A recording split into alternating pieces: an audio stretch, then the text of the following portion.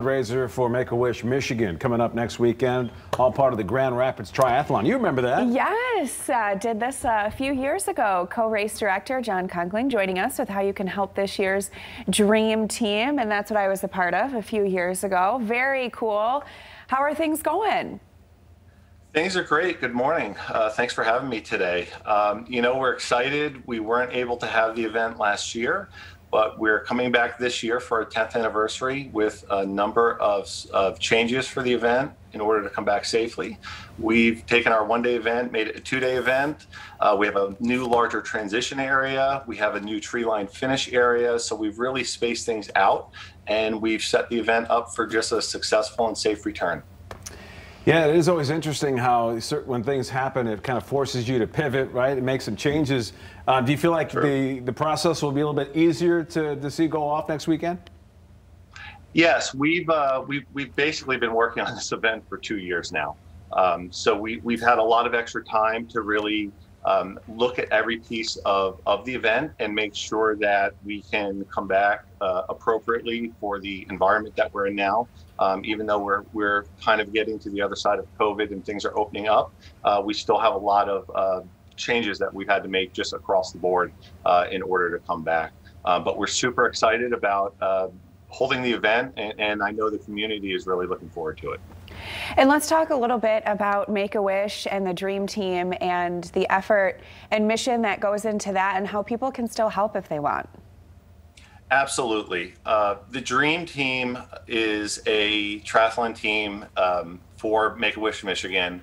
They started with us in 2017. It was founded by Dan and Susie Van Sciver, who are former Make-A-Wish families uh, or a family. Um, you know, their young son um, was a, a, beneficiary of, of Make-A-Wish when he was sick when he was young.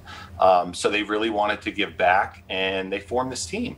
And since 2017, they've been able to raise $125,000 at our event, which is tremendous. Wishes for Kids um, can be very expensive. The average wish costs five to ten thousand dollars, and with the money that they've raised, they've granted 15 wishes, and already this year they've raised thirty-four thousand uh, dollars for the event. So, uh, even though there wasn't an, anything last year, and this is 100% uh, donated donated money funded. Um, they've come back super strong, and we're very very happy to be able to continue to support them. And if, uh, Jen, I wanted to ask you if people are maybe right now seeing this going, oh, I'd like to try that. Is it too late for them or, or, or should they wait for the next next year? Yeah. No, our registration stays open through midnight on Monday. Oh, wow. Uh, they can go to grandrapidstri.com and register. We have multiple distances still open from the very newbie friendly Super Sprint, which is a very, very short event.